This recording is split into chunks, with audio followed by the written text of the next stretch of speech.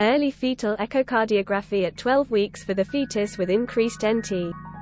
This 12 weeks baby has increased nuchal translucency, NT, thickness because of a severe heart defect. It has no Down syndrome, however its heart is very abnormal and the prognosis for this baby is very concerning. It is well known that increased NT is strongly associated with cardiac anomalies.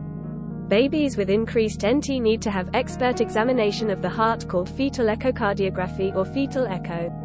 Usually it is done at around 20 weeks of pregnancy.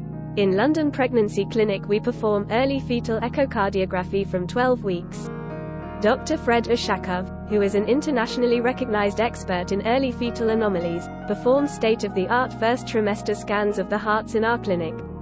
We believe that if the baby has increased NT, its heart needs to be evaluated as soon as possible in order to exclude severe cardiac anomalies.